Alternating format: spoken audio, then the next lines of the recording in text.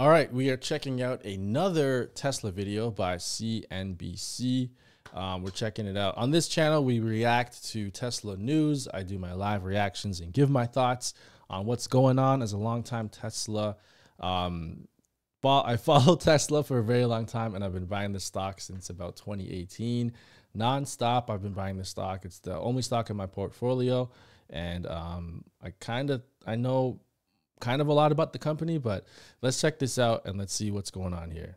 Let's bring in somebody who knows about this market. Mark Bad Fields, news. he's the former Ford CEO and a CNBC contributor. Mark, first question I have for you. I look at this, it's fascinating, and I think, man, if you did this in the United States, you'd have a federal antitrust investigation in about five minutes, wouldn't you? Absolutely. I mean, talk about antitrust violations about uh, trying to coordinate pricing. Right. Yeah, this would not fly in the U.S. I mean, this is literally the automakers getting together and setting a floor for prices. Yeah, exactly. Well, listen, at the end of the day, this mm. was pushed by the Chinese government and Tesla's competitors, in particular the Ministry of Industry and Information Technology. Price because war. you know Truce. they basically told the China uh, dealer or Association of Automobile Manufacturers, listen, you guys got to get together. Tesla, you started this price war the health of the automotive uh, infrastructure and ecosystem in China is extremely important. We, as the government, have put a lot of policies in place this year to support it.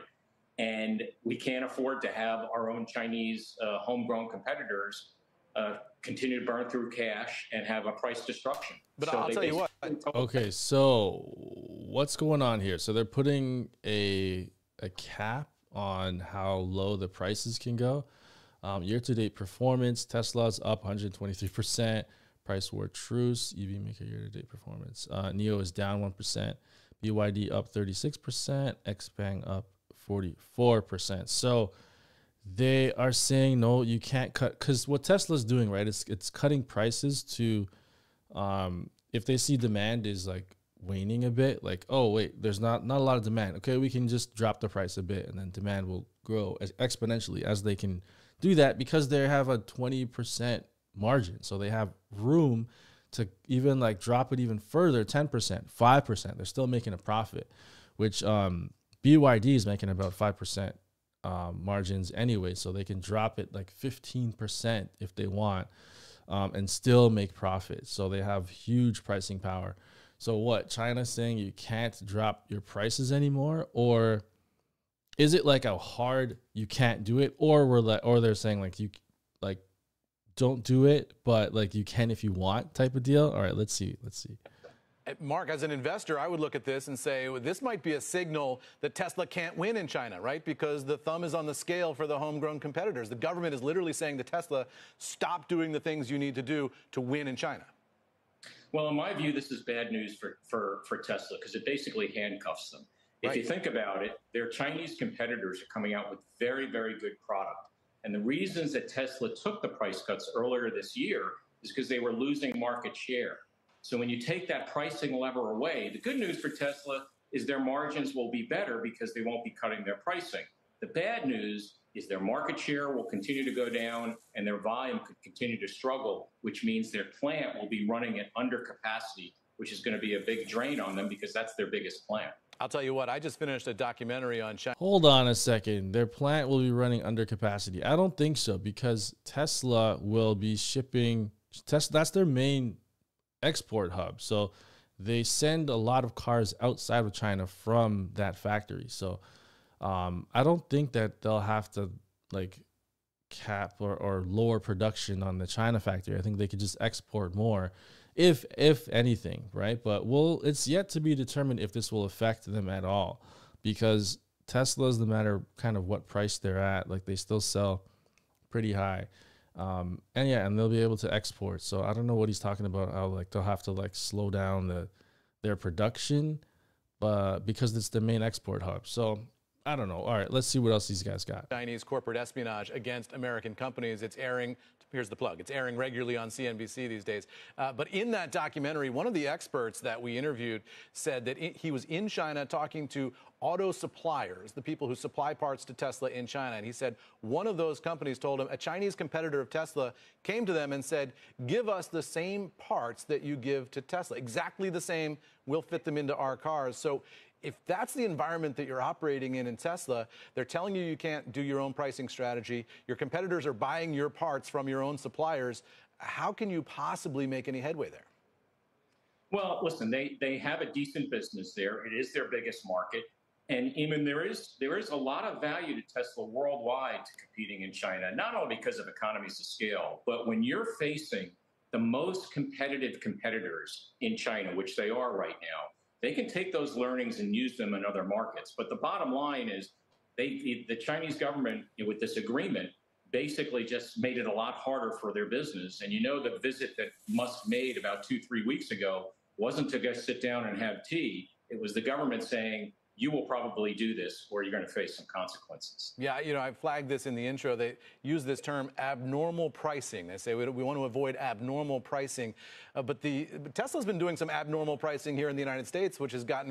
I want to see this agreement. What do you mean by abnormal pricing? Because Tesla, like, they're not crazy low prices. Like, I would think abnormal pricing means extremely low and no one can compete with um, their extremely low pricing. But all of the EV automakers in China are selling at a loss. So their pricing is low eh, eh, already. So they're all selling at a loss. They're all losing money.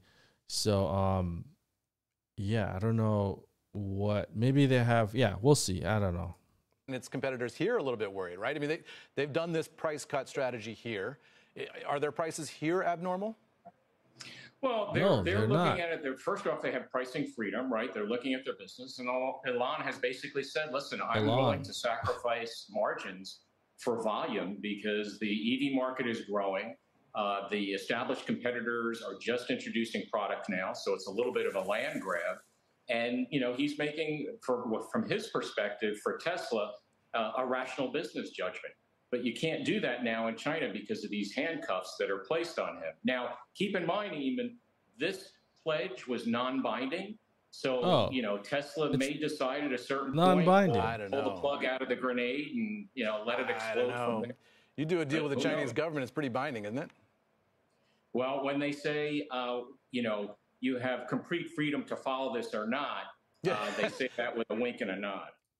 Okay, so it's non-binding, but you don't really want to mess with the Chinese government, right? But it's non-binding. You can do it. You could you can comply if you want. Um, what and what do they mean by like like extraordinary price pricing? Like, what do they mean by that? Because like ice cars are around are cheaper than EV cars, right? So do they mean extraordinary as to where no other companies can compete? But it's it's that's the market. Like it's a competitive market. Like i don't understand what they mean by that but um, we're gonna have to see in the next quarter if this affects tesla at all. Um, are they gonna follow? Are they not gonna be able to drop prices anymore?